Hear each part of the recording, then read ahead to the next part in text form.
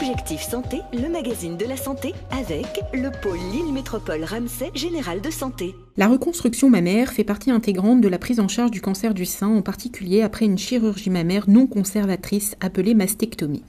Plusieurs options chirurgicales sont possibles. Nous utilisons une prothèse mammaire en gel de silicone. Il existe deux techniques chirurgicales pour la reconstruction autologue, c'est-à-dire sans prothèse mammaire. Nous nous servons de la peau, du muscle et de la graisse dorsale pour la transférer au niveau de la région mammaire.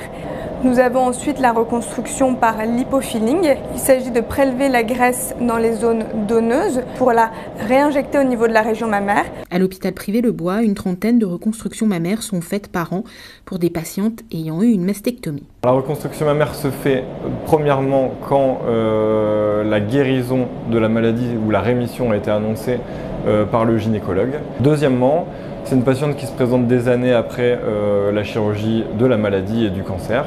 il y a une troisième possibilité, euh, c'est ce qu'on appelle la reconstruction mammaire immédiate. Et donc c'est un plasticien qui va travailler en binôme avec un gynécologue.